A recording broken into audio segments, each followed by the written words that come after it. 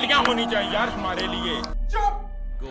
Hello guys कैसे हो? तो मैं आज आपको दो फ्री शॉट बताने वाला तो आपके ऊपर है कि आपको इसके बाद कौन सा रखना है? तो सबसे पहले ये वाला शॉट जो कि बहुत बेहतरीन है कवर्स के ऊपर से मारा गया शॉट है और दिखने में भी बहुत बढ़िया लगता है। पर ये गुड लेंथ और ओवर पिच बॉल के लिए खेल सकते हैं। बट ये वाला शॉट है, आप गुड लेंथ को भी खेल सकते हो यॉर्कर का भी खेल सकते हो और ऐसे ओवर पिच बॉल को भी खेल सकते हो। और रिप्ले में बहुत बढ़िया लगता है। तो इसके शॉर्ट मैप के कोड ये रहे और इसके बाद चैनल को सब्सक्राइब करो गाइज़